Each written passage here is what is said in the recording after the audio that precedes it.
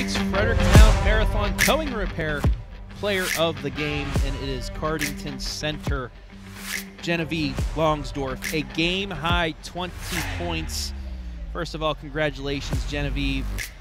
You had some big buckets in the fourth quarter and overtime. Just, uh, you know, what what did it take to get the victory tonight between these two young squads? Um, we tried to keep our energy up the whole time. We really wanted this win to come out with a win, and our team did that pretty well, I think. And we found open shots. We moved the ball pretty well, I thought.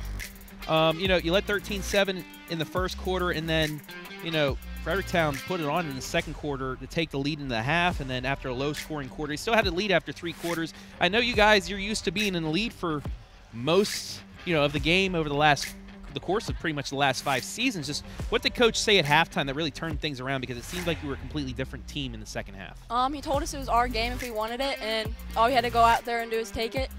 And I think a lot of the team, we thought that we were really close and we had it, so we all wanted to win really bad.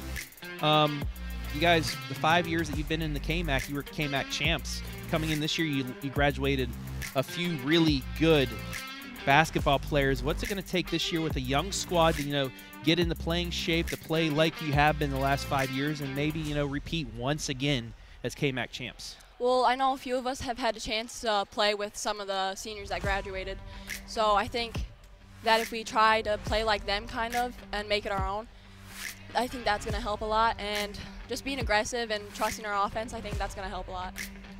Uh, how easy was the, the coaching change? I mean, you've had your head coach has been here for six years as an assistant, but you, may, you might have a little bit of a different coaching philosophy. How easy was that transition over the course of the summer?